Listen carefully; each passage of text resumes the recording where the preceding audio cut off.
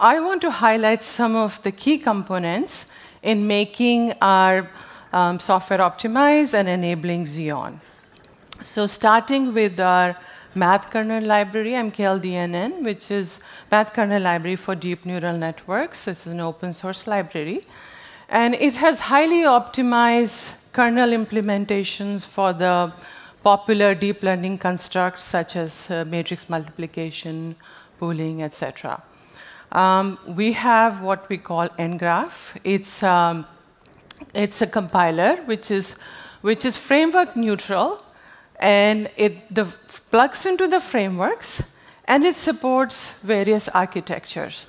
So it's, it's sort of an abstraction layer or a glue which supports um, various frameworks and then various hardware architectures at the bottom.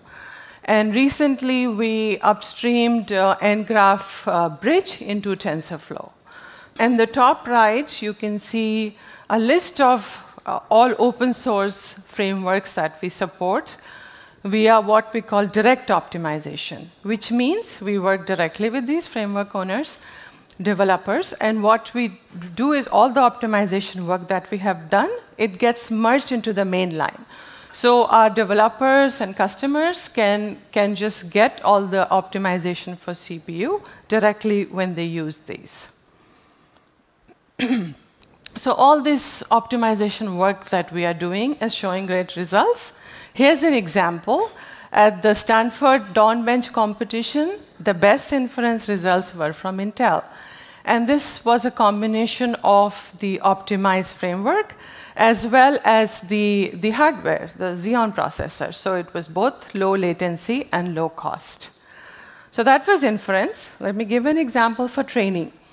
So our engineers work with, uh, some of the engineers are here in the audience as well.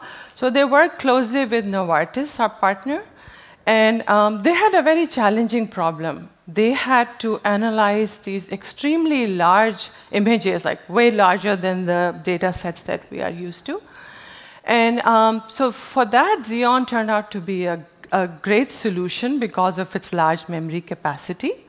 So taking advantage of uh, Intel optimized TensorFlow and then scaling it up to eight nodes, we were able to reduce the training time from hours to only minutes.